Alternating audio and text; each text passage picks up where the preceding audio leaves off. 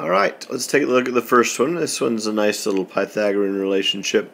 They tell us that that's 9, which makes this 9. Diagonals bisect each other.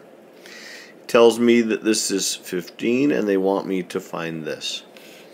Well, this immediately lends itself to a nice right triangle Pythagorean relationship that would say x squared plus 15 squared equals 18 squared.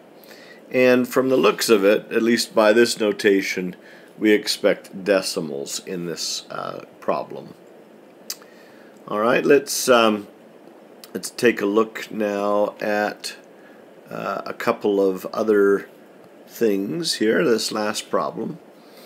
This last problem tells us that EAD, that's this guy,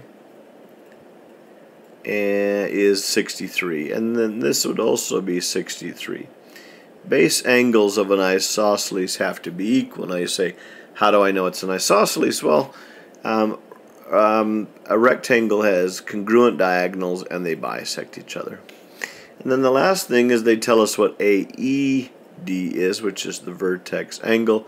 They tell me that it's 4x plus 8. So we'd have two 63 angles. Those would be our two base angles.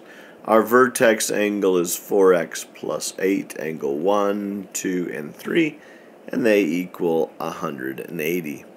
And again, what allowed me to do that was my knowledge that this guy indeed was an isosceles. And I know it's an isosceles because the diagonals bisect each other and are congruent.